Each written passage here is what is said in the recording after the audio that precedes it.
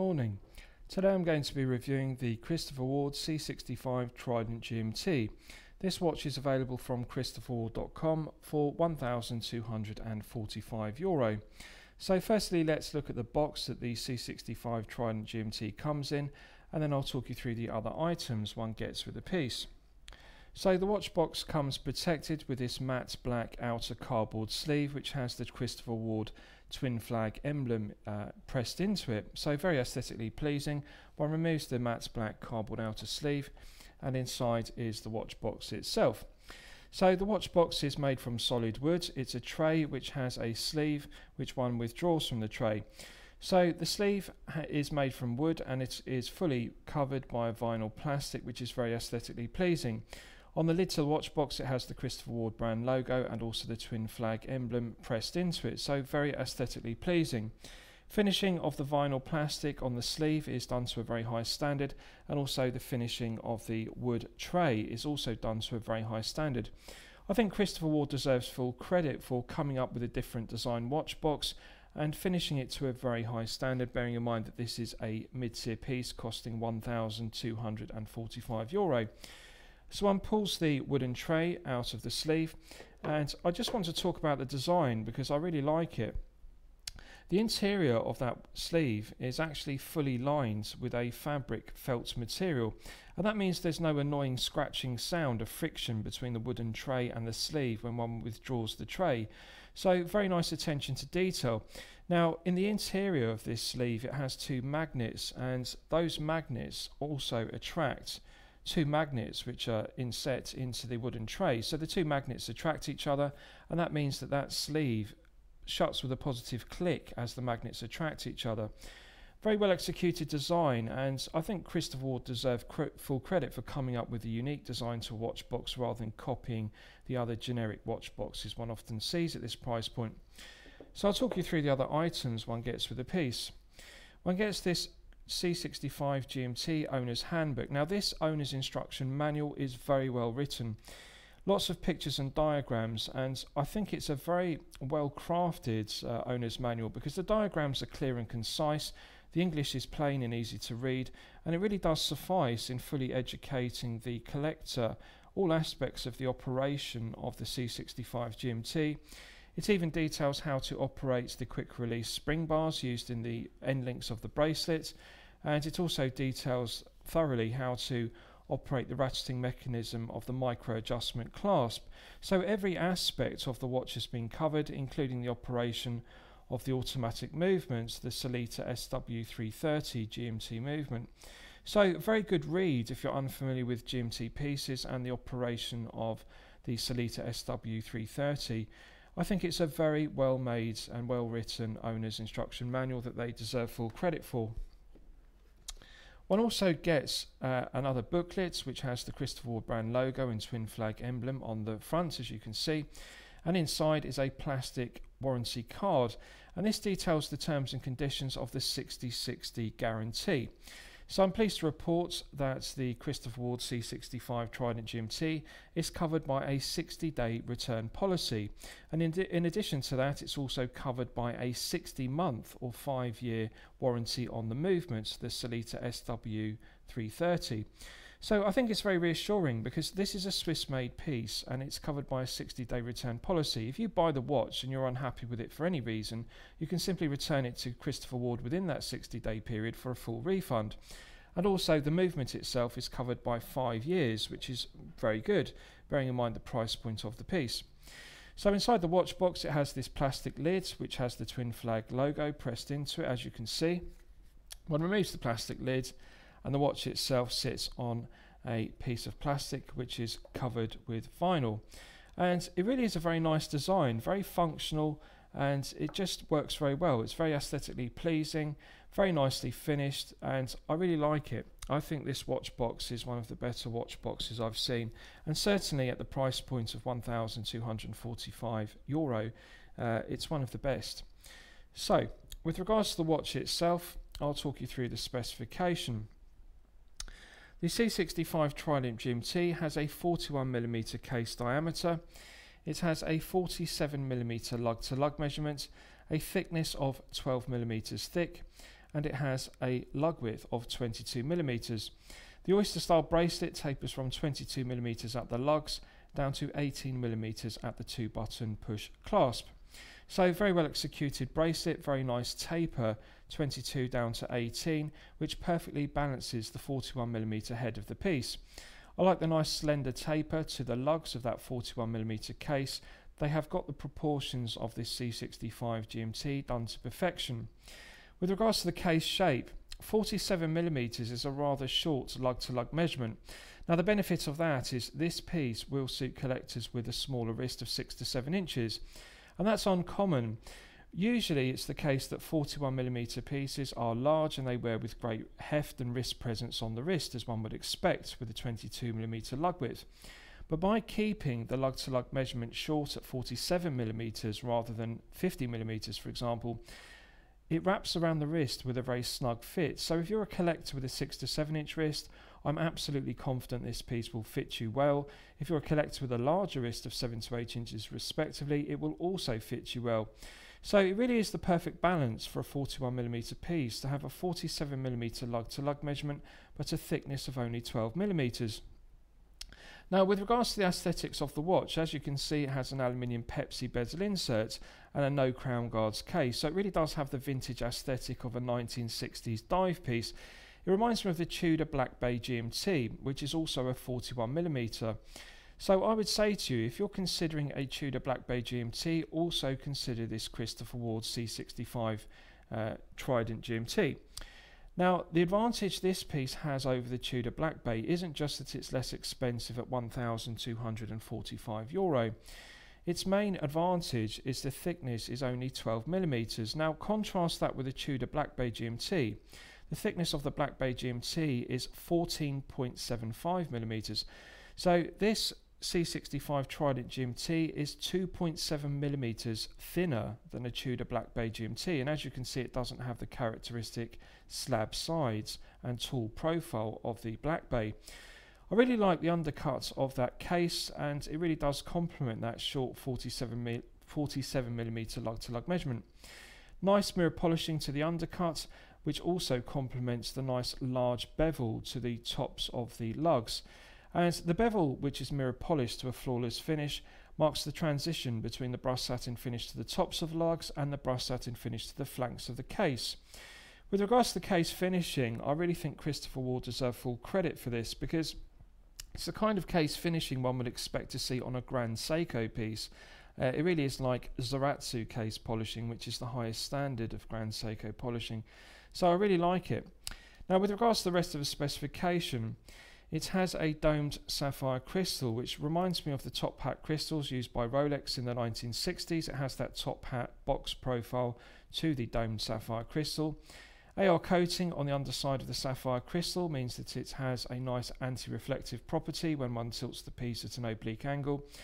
With regards to the dial layout, I really like the execution of the uh, indices. Good symmetry, date complication at 3 o'clock. The date wheel is black with white numerals, so it's clearly legible. Now, with regards to the balance of the design, I previously reviewed the C65 Dartmouth, and I actually think the Christopher Ward brand logo at 12 on the C65 Dartmouth is better positioned. I prefer it to the 9 o'clock position of the Christopher Ward brand logo on this C65 Trident GMT. At the 12 o'clock position on the dial, one has a subtle uh, pressed in twin flag logo for the brand emblem. I actually think it would be better to remove the twin flag brand logo at 12 and simply replace it with the Christopher Ward as is the case on the C65 Dartmouth. Very nicely executed dial, I like the baton hands and the use of the red arrowhead GMT hand which contrasts beautifully with the matte black dial. So functional, legible and aesthetically pleasing and it really does work very well because the matte black isn't highly reflective and with the AR coating on the underside of the dome sapphire crystal, the dial and hands and indices are clearly legible in all light conditions. With regards to the bezel, aluminium bezel insert, coin edge, solid stainless steel bezel, 120 click unidirectional bezel as one would expect. Now, a minor criticism is personally on a GMT piece, I would prefer to see a bi-directional 120 click bezel rather than a unidirectional uh, bezel. Unidirectional bezels with 120 clicks are perfectly acceptable on dive pieces, but however on a GMT piece really they're more functional if they have a bidirectional rather than unidirectional bezel. But having said that, the alignment is perfect. The looms pip and triangle align perfectly with the 12 o'clock index on the dial, so no build quality or quality control issues. Minimal backplay to the bezel, very pleasing bezel action, good solid clicks, nice loud clicking sound, and one gets firm resistance. It's one of the most pleasing bezel actions I've experienced.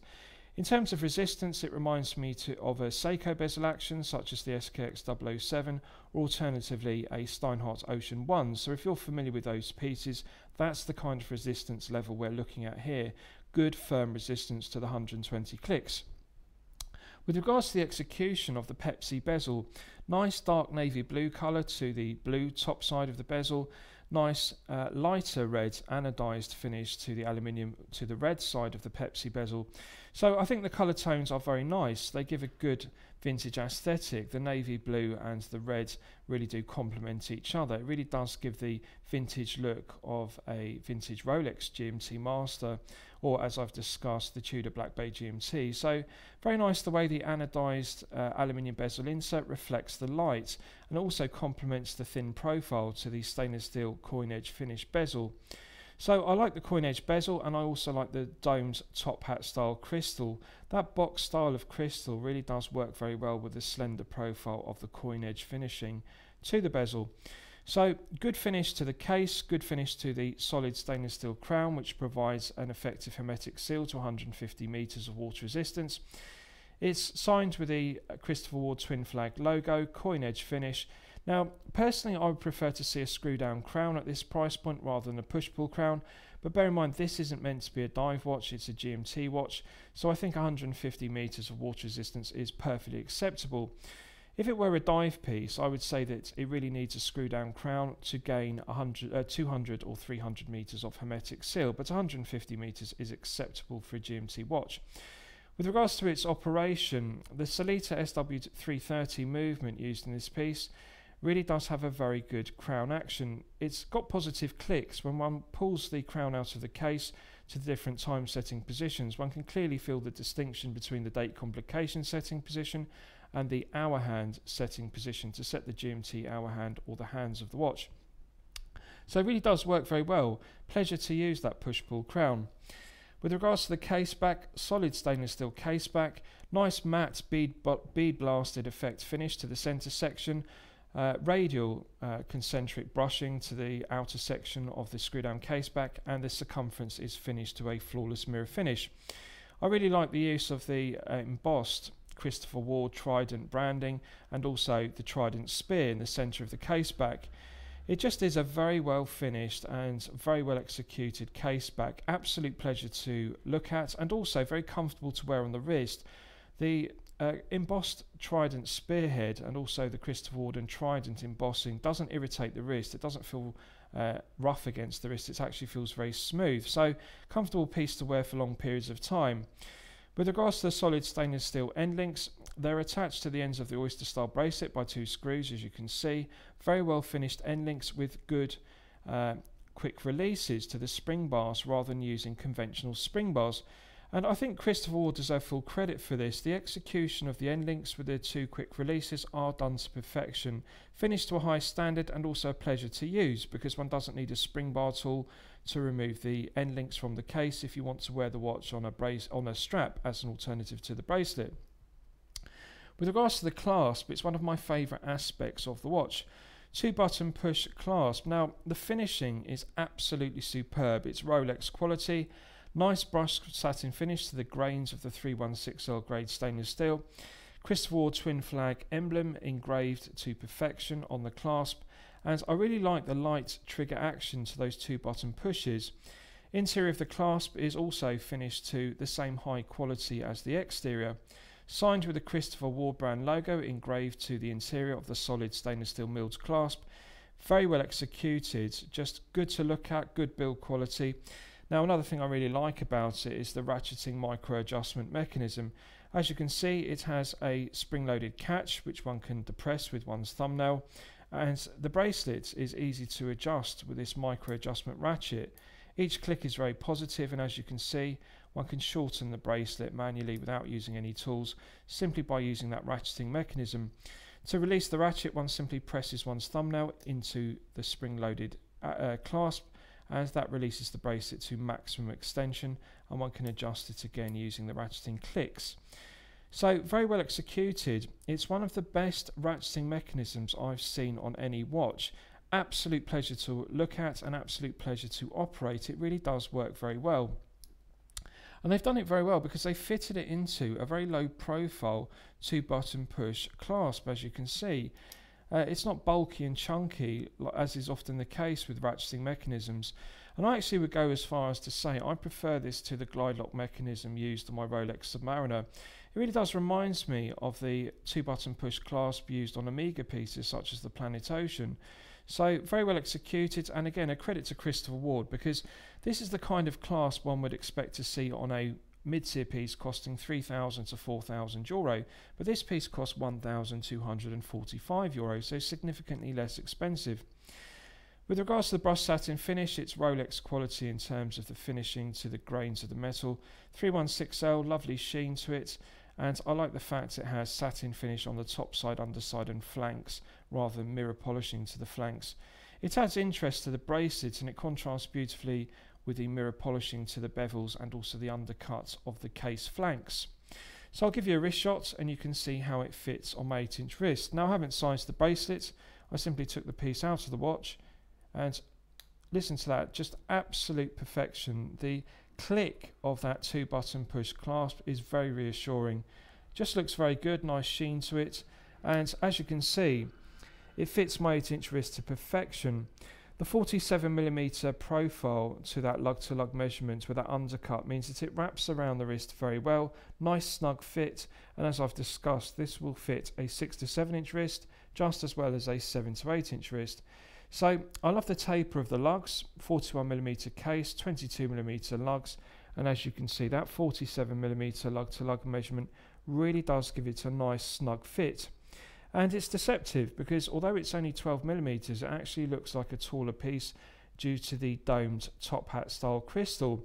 So great wrist presence at 41 millimeters, but at only 12 millimeters thick, it will easily fit underneath a shirt cuff of a business shirt. So a practical daily wear piece and very comfortable to wear for long periods of time. If you're going to need a daily wear piece to wear for 8 to 12 hours per day, this is it.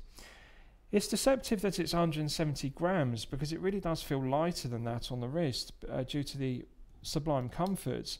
I really like the smooth feeling of the case back and I also like the feeling of the well finished bracelet. The comfort is largely due to the balancing of the watch. It's 41 millimeters, so yes, it is a large head of a piece, but because the bracelet tapers from 22 to 18 and it has a good solid clasp, that actually balances the bracelet and clasp to the head of the piece. So on the wrist, it actually feels very well balanced rather than being a top heavy piece with tremendous heft. So with regards to the movement used in the watch, it uses the Sellita SW330 and that is a credible Swiss made automatic GMT movement.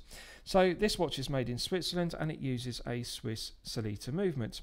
The SW330 is a very reliable, well proven workhorse GMT movement. It runs at the industry standard for automatic movements, 28,800 vibrations per hour and a frequency of 4 Hz. Now the benefit of that beat rate and frequency is that the second hand sweeps very smoothly around the dial. The second hand is very well executed and as you can see the counterbalance to the second hand has the Trident spearhead and that adds continuity to the design because this is the C65 Trident GMT and as you can see there's a Trident spearhead on the caseback. So I like that continuity between the Trident on the caseback and the Trident on the counterbalance of the sweeping second hand.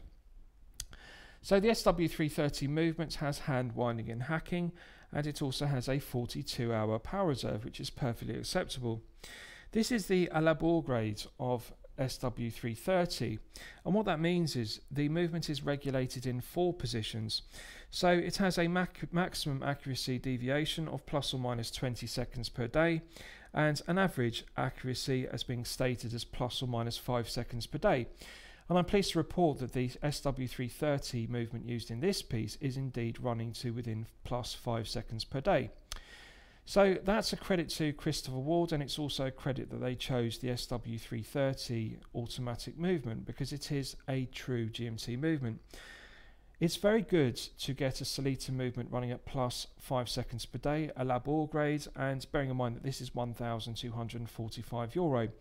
Good, reliable, well proven workhorse Sellita movement, good GMT functions to it, I have no um, qualms whatsoever about it. There are no negatives to the SW330. It's a reliable and accurate movement. Plus 5 seconds from GMT movement is perfectly acceptable. Good to have the date complication and also good to have hand winding and hacking functions to the movement. So I like it. Now let's do a lume test and we'll see how the lume performs when it's fully charged up to the absolute maximum. So I'm going to charge it up using my 100 LED UV torch and we'll see how the SLN white Superluminova performs. Now I've got high expectations. I previously reviewed the C65 uh, Dartmouth and I was very impressed with the quality of the Superluminova on that piece and I'm expecting that Christopher Ward haven't cut any corners to the Superluminova which is the SLN white Superluminova on this Trident C65. Right, so that's now fully charged and as you can see it has not disappointed. Nice bright green tone to the lume, which reminds me of C3 Superluminova. The lume pip on the GMT bezel is glowing very brightly. Baton hands are also glowing brightly and also the arrowhead of the GMT hour hand. So no difficulties whatsoever differentiating between the GMT hour hand and also the baton style hour hands. They're clearly different from each other. I like the symmetry of the indices and I also like the large lume plots on the baton hands. Good quality lume, glowing brightly and continuing to glow for a good length of time. So they've done a good job with that SLN white lume and I think it's a credit that they haven't cut any corners with the lume on the watch. So lastly I'll surmise the piece. What do I think of it overall? Well, when I'm considering reviewing a watch on my channel, the watch should meet two criteria. The watch should be both excellent quality and excellent value at the respective price points. So the price point of this C65 Tri Trident GMT is 1,245 euro. Yes, I consider it to be excellent quality, and yes, I consider it to be excellent value. Really, this is a credible alternative to the Tudor Black Bay GMT. The main advantage is that it's significantly less expensive than the Black Bay GMT. One is getting a 3,000 to 4,000 euro price point piece for only 1,245 euro. Swiss made with a credible Swiss made Sellita SW330 movement, which is a Elaboré grade. So, really, one has to consider the value proposition of this piece. So, what are the negatives to the watch?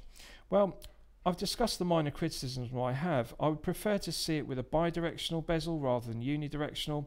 I'd prefer to see it with a screw down crown rather than a push pull crown. And lastly, I would prefer to see it with screw pins in the bracelet rather than push pins.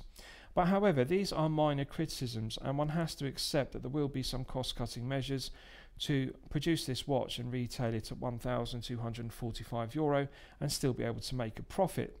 So I think the negatives are minor, and I think that overall to get a Swiss made GMT piece with a Sellita SW330 GMT movement really is outstanding value at this price point.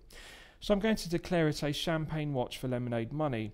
I highly recommend this watch to you for your consideration. I think it is outstanding. I hope you've liked my review of the Christopher Ward C65 Trident GMT. Please feel free to post your own comments below the video. Thank you very much.